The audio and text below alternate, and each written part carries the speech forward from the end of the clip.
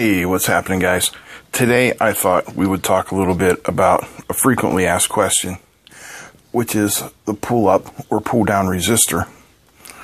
What's its purpose? Why do we have to use it? Now, they're used in digital logic because digital logic circuits can generally have three states, okay?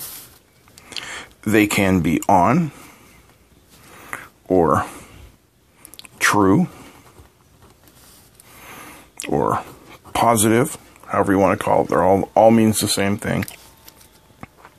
They can be off or false or negative.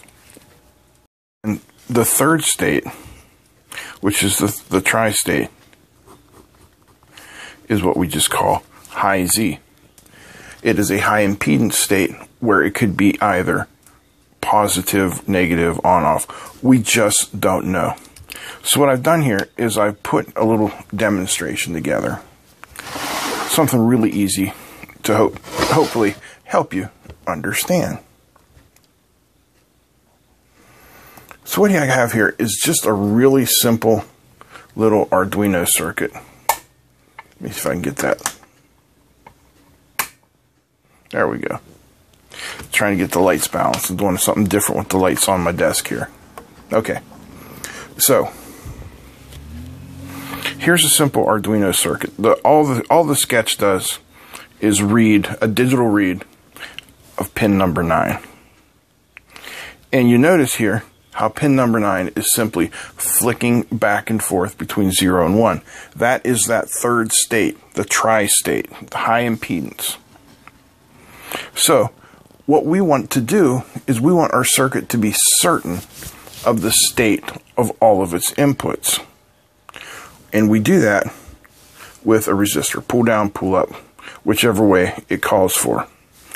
Now, generally in selecting a value, you want something that's not going to be so high resistance that it doesn't matter and it still can't tell. And you don't want something that is so low in resistance that it would just uh, short the circuit out. Somewhere in the 2K to 10K is a good place to start. I generally use a 10K. So if we place this 10K resistor between this pin and ground, you'll see that we have now locked that input into zero or false or off. That's pulled down. Now, if I put it into the positive, we have locked it into one, true, plus. It is no longer in the tri-state. It is in one state or another. So that's the purpose of the pull down resistor. And let me just take it a little bit further to help you understand how you might use it.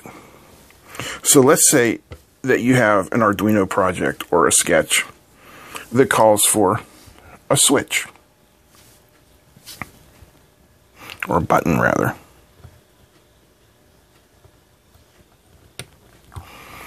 So there's our button. And we want it to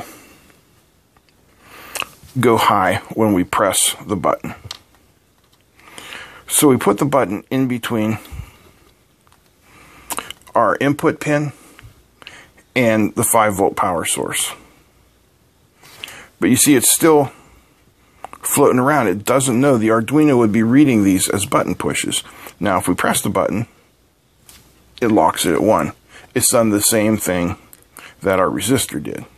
So what we want to do here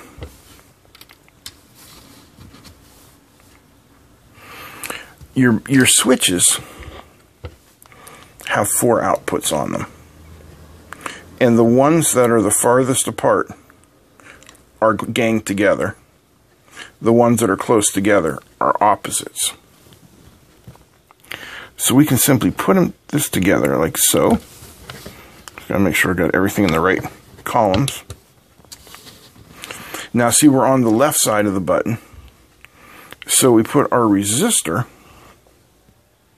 also on the left side of the button. And now we are certain that our circuit is locked down to low. When nothing happens, it's always going to read a zero. So we just go from the other side of the button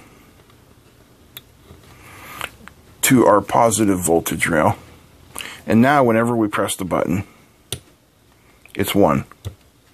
When it's not pressed, it's 0.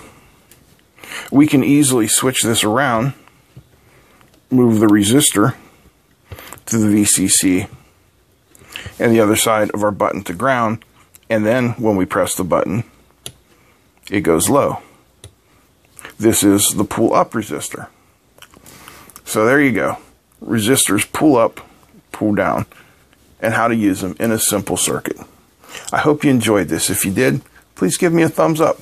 Feel free to comment, share, and don't forget to subscribe. Big thanks to all the patrons who are sticking around. That's it. I'm out.